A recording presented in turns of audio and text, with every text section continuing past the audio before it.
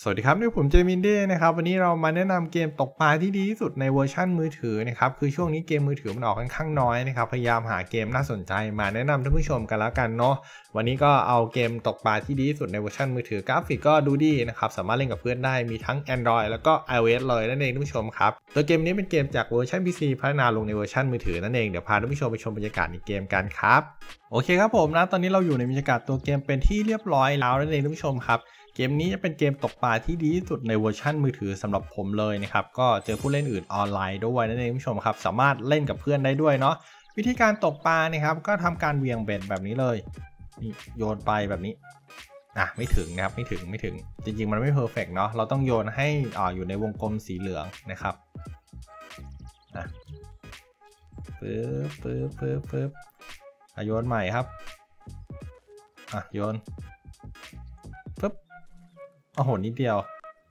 จริง ๆ มันสามารถโยนแบบ power ได้ถ้าผมจำไม่ผิดมันกดค้างหรือเปล่า อะไรนี่แหละ เพราะว่าอันนี้ผมเล่นใน emulator ไงอาจจะแบบดูยากนิดนึงใช่ไหมเนี่ยแตะค้าง นี่ท่านผู้ชมครับได้ละ ไม่ต้องเหวี่ยงคงเหวี่ยงค้างอะไรแล้วนะครับ แล้วก็รอจนปลามากินเบ็ดนะครับ รอแป๊บหนึ่งเดี๋ยวปลาเขาก็มานะครับพอปลามาเบ็ดมันจะกระตุกนะ มันจะเริ่มมาแล้วมั้งหรือเปล่า หรือเปล่า เดี๋ยวเราหมุนนิดนึงอ่าอันนี้จริงๆเขาบอกให้เรารอปลานะครับ ตามคำสั่งเลยนะมาใช้เวลารอนิดนึงนะครับ แล้วเดี๋ยวพอปลามาเราจะได้ทำการเอ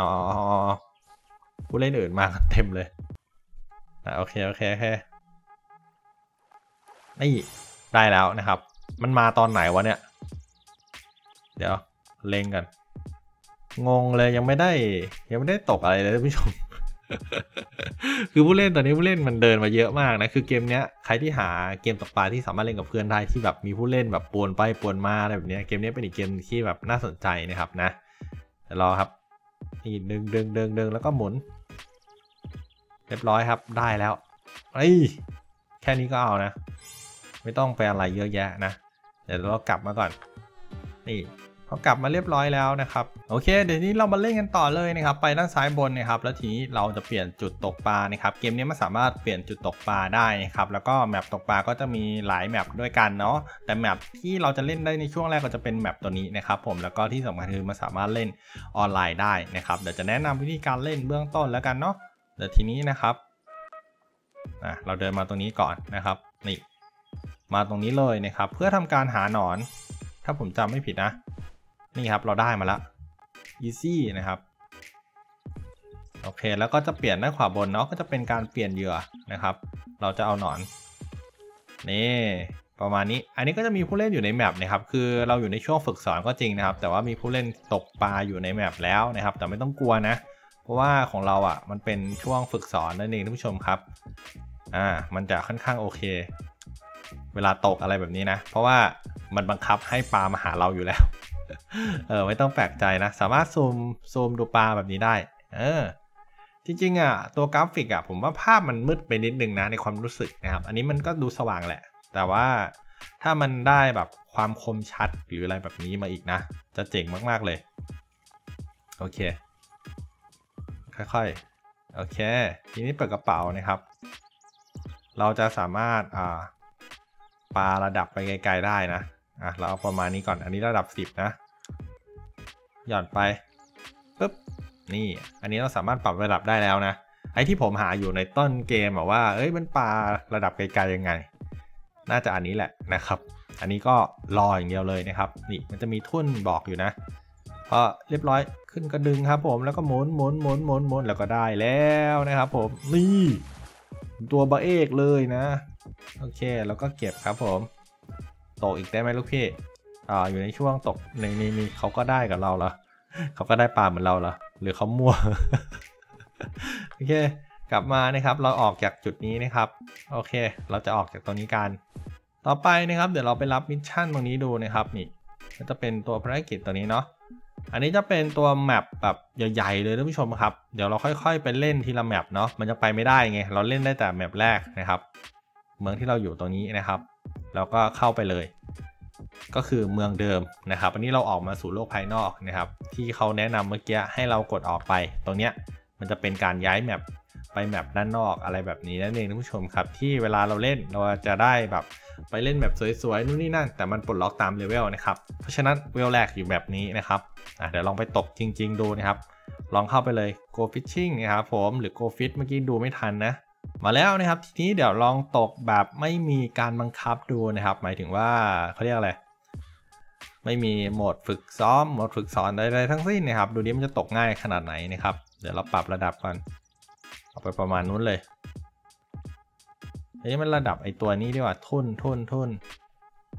ประมาณ 40 แล้วกัน ไม่ใช่ระดับ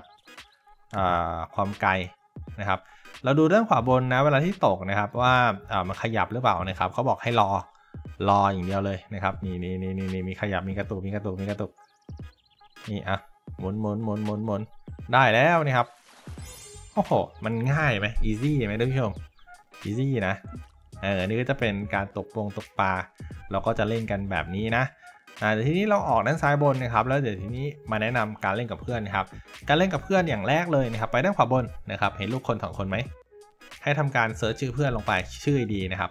ใส่อะไรก็ได้นะ ใส่ชื่อเพื่อนนะนี่ยกตัวอย่างเฉยๆนะครับ นี่ อันนี้ผม search แบบมั่วๆนะ เราก็เจอเหมือนกันนะ เนี่ยเราสามารถส่งคำชงคำเชิญกันได้ เห็นไหมอ่า ทีนี้นะครับ ถ้าเรามีเพื่อนแล้วนะครับ เวลาที่เพื่อนออนไลน์อยู่นะครับ ให้เรามาที่ map ก่อนเนาะ เวลาที่เพื่อนออนไลน์อยู่อะครับ ตรง room ตรงเนี้ยมันจะมีเพื่อนให้เราเข้าไปจอยได้ ถ้าเรามีเพื่อนในแมปที่เขาเล่นอยู่อะไรแบบนี้นะครับ อันบนก็คือ random ห้องนะครับ จะเจอผู้เล่นอื่นทั่วไปเนาะ อันนี้ก็จะเป็นห้องที่เพื่อนเล่นอยู่นะครับ แล้วก็อันนี้จะเป็นห้อง private ที่มีเพื่อนเราอยู่ ถ้าเพื่อนเราอยู่ในนี้นะครับ เราก็สามารถกดจอยเข้าไปได้เลยนะ ตรงนี้ผมแอดใครก็ไม่รู้เขายังไม่รับนะครับตรงนี้ก็ยังไม่สามารถทำอะไรได้ผู้ชมดูได้นั่นเองท่านผู้ชมครับ คือเกมนี้เจ๋งมากๆเลยนะ เมนูต่อมาก็จะเป็นเมนู inventory นะครับก็จะเป็นพวกของในกระเป๋าต่างๆนะครับชอบนี่ครับก็มีพวกเบ็ดตกปลาขายมีของขายเนาะคือทำไอคอนทำอะไรมาดีมาก ไอที่ผมเล่นอยู่นี่จะเป็นเล่นใน emulator นะครับนะมันจะเป็น cursor แบบนี้นะไม่ต้องแปลกใจพี่ทำไมพี่มี cursor เมาส์เล่นใน emulator นะครับแล้วก็มีพวกพรีเมียมด้วยนะครับ ใครแบบอยากจะโป้งอยากจะ pay อะไรแบบนี้นะครับ ก็สามารถทำได้เนาะ นี่ประมาณนี้ส่วนโลกภายนอกนะครับ เราออกตรงนี้เลย แล้วกดเย็ดนะครับ แล้วก็รอแป๊บหนึ่งนะครับ ระบบจะพาเราไปที่แบบ world ระบบพาออกมาแล้วนะครับ map อื่นๆนะครับ ค่อยๆ ปลดล็อกไปนะตามเลเวลนะครับ มันจะมีเงื่อนไขทำ quest ไปเรื่อยๆเนาะ เนี่ยมีแบบเยอะมากนะ เออเนี่ยดูครับท่านผู้ชม มีไทยไหมวะ มีไทยไหม ประเทศไทยอยู่ตรงไหนเลย พอมาดูแผนที่ได้แบบ เอ้ย เราจะหาประเทศเราไม่เจอจริงเด้อเรา ใช่อันนี้ไหม ผมก็ ผมดูไม่ออกเลยเนี่ย นี่ไทยอยู่อันนี้ นี่อันนี้ไทยเชื่อผมดิ เออ ประมาณนี้แหละ ผิดถูกไงก็ขออภัยด้วยแล้วกันผู้ชมครับนะส่วนอันสุดท้ายนะครับเราไปที่ตั้งค่ากราฟิกด้านขวาบนเลยนะครับนะแล้วก็มาที่วิดีโอนะครับ กราฟิกสูงสุดก็ปรับตรงนี้นะครับกราฟิกคุณภาพเป็น ultra นะครับแล้วก็ตัวนี้นะครับเป็น high เนาะแล้วก็เกี่ยวกับน้ำเป็น high นะครับแล้วเปิดตัวนี้ไว้เนาะก็ปรับประมาณนี้แหละนะครับเอาเป็นว่าใครที่สนใจเกมมือถือตกปลาที่ดีที่สุดในเวอร์ชันมือถือลองดูเกมนี้ได้แล้วพบกันใหม่ในคลิปหน้าครับสำหรับวันนี้สวัสดีครับ